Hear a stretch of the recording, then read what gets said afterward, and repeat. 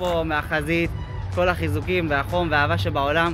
הצבא שלנו הכי איכותי, הכי טוב, עם חבורה מופלאה שאין כאלה דברים בעולם. באהבה ובגבורה ינצח.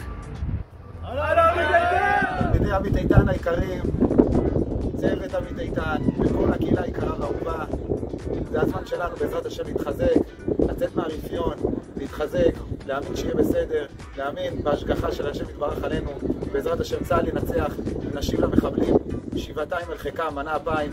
תודה רבה לכם על כל התמיכה, החיבוק והאהבה, אוהבים אתכם, עד אין קץ. תלמידי וצוות עמית איתן, שימו לב כמה חיילים נמצאים פה. גצ"ר 6724 מאמינים בקדוש ברוך הוא ובניצחון במערכה הקשה הזו. אתם בבית, חזקו ואמצו, אוהבים אתכם מאוד.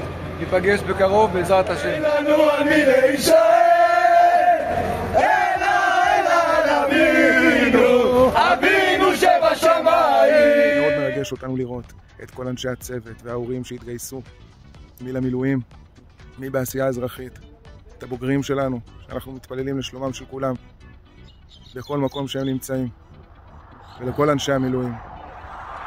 והתלמידים והבוגרים שנותנים בעשייה למען הכלל, באים לשמח חיילים. ממש מרגש, מרומם את הלב, מאוד מאוד מאוד.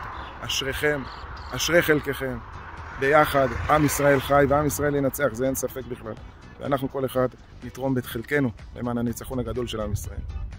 קהילת עמית איתן היקרה, מחזקים אתכם מכאן, ועוד יותר מחוזקים מכם, מהתמיכה, מהטלפונים, מהעידוד, מהתפילות, מהחסדים. כל מה שאתם עושים עוזר ומסייע ומחזק אותנו מאוד. עם ישראל ינצח. הקדוש ברוך הוא איתנו, אחדותנו איתנו, בעזרת השם, נעשה ונצליח, בשורות טובות.